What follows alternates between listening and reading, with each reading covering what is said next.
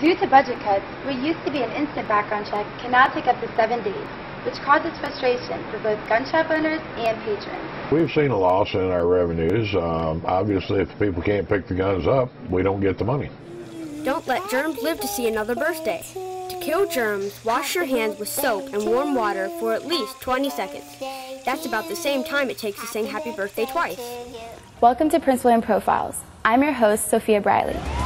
It takes an exceptional person to risk his life for a total stranger. But that's what Prince William County firefighters do every day of the year.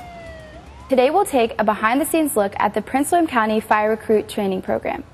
We'll meet recruits Tom Arnado and Allison Bischoff and find out if they have what it takes to become firefighters. We ask the grown-ups what motivates them to conserve the Earth's resources. 78% said they do it for their children and for future generations.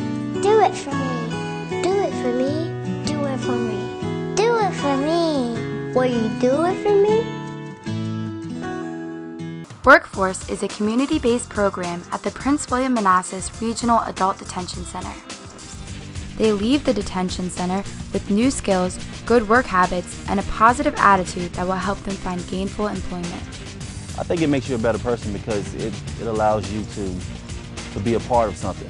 To me, the drag queens are like the celebrities of the gay community. We're the people that they like want to see. We're the people that they look up to. You know, they're watching our every move.